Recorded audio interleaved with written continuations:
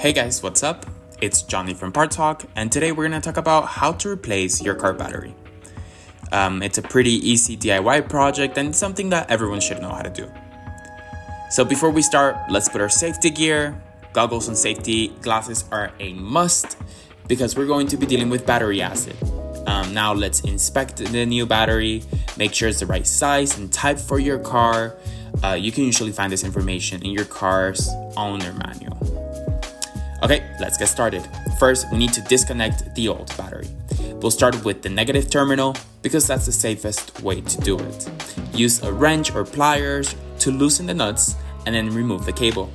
Be careful not to touch the positive and negative terminals together because that could create a spark. Now we can disconnect the positive terminal. Again, be careful not to touch the two terminals together.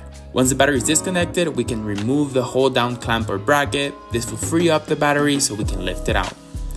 Be careful when you're lifting out the battery, it might be heavy and it's full of acid. Don't tip it over or you have a big mess on your hands. Now we can place the new battery in the tray. Make sure it's oriented correctly with the positive terminal on the positive side and the negative terminal on the negative side. Once the battery is in place, we can secure the hold down clamp or bracket. Now we can reconnect the battery cables and again we'll start with the positive terminal and then the negative terminal. Once the battery is connected, we can start the car and make sure everything is working properly. Now, what do you do with the old battery? We can get rid of it. It's important to dispose of car batteries properly because they contain this very dangerous acid waste. You can take your old car to a recycling center or an auto parts store. Many places will actually give you some type of refund when you return your old battery. And that's it. You've now successfully replaced your car battery.